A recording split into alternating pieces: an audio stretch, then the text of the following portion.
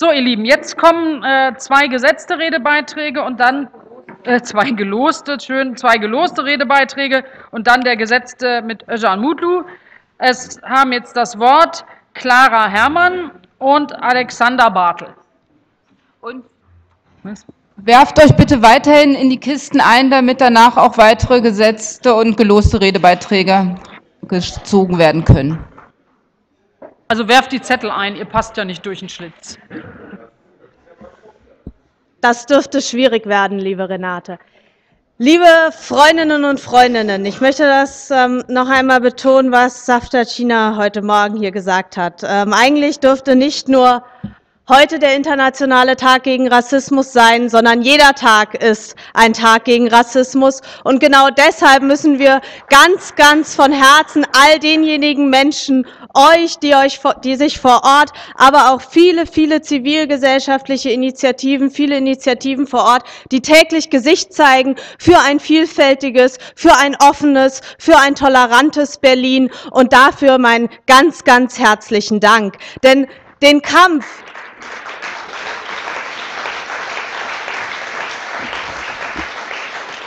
Der Kampf gegen Rassismus, der Kampf gegen Rechtsextremismus, den können wir nicht alleine gewinnen, den kann nur eine aktive Zivilgesellschaft gewinnen und die haben wir in Berlin und ich finde, das wird viel zu wenig gesagt und da müssen wir diese unterstützen und ich bin dankbar, dass sie trotz der großen Koalition so aktiv sind und dass sich zum Beispiel heute so viele Menschen in Berlin beteiligt haben an der Aktion 5 vor 12.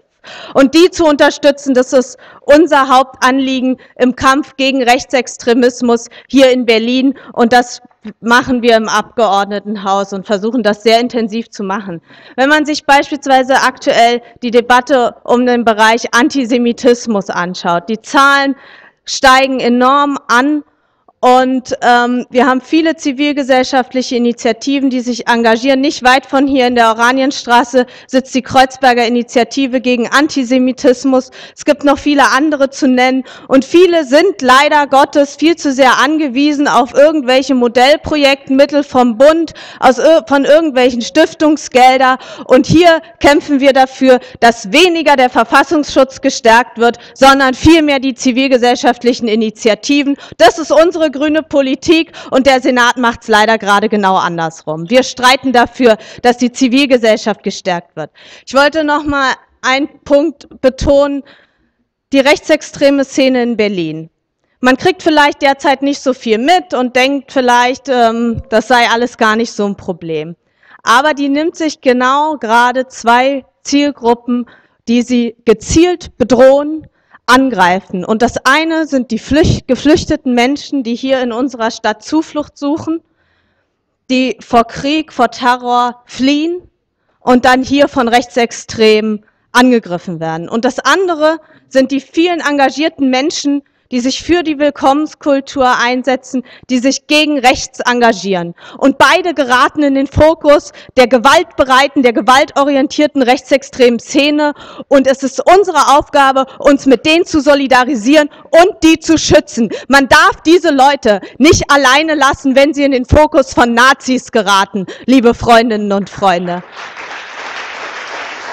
Und um das, und um das einmal zu sagen, die menschenfeindliche Stimmung, die in unserem Land verbreitet wird von Islamfeinden in Dresden oder auch in Berlin, von der organisierten rechtsextremen Szene, die Flüchtlings, die gegen die Flüchtlinge mobilisieren und vor Ort, ihr wisst das viel zu gut, an vielen Stellen in der Stadt Demonstrationen und andere schlecht, schlimme Stimmungen verbreiten.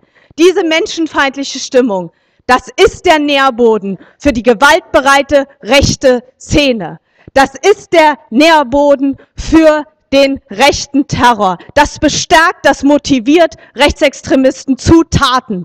Und lass es mich einfach an ganz einfachen Zahlenbeispielen sagen. Das gilt nicht nur für Deutschland, sondern auch für Berlin.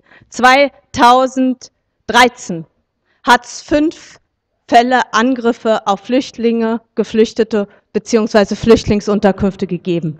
Im letzten Jahr waren es 41 und die überwiegende Anzahl im letzten Quartal. Ich denke, das wird deutlich, menschenfeindliche Stimmung muss genauso entschieden entgegengetreten werden. Und wer, wenn nicht wir, müssen aufstehen und uns mit denen solidarisieren, die in den Fokus rechter Gewalt geraten. Ich danke euch und bitte euch um große Unterstützung für unsere Resolution gegen Rassismus.